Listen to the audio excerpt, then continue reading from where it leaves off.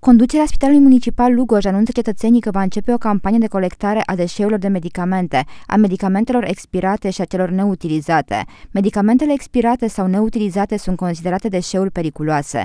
Este important ca ele să nu ajungă la groapa de gunoi, să nu pătrundă în pământ sau în apă. Conform legii 269 din 2023, precum și a instrucțiunii Ministerului Sănătății din 4 aprilie 2024, acestea vor fi colectate de spitalele publice sau private, care sunt obligate să le preia de la populație în scopul eliminării lor definitive.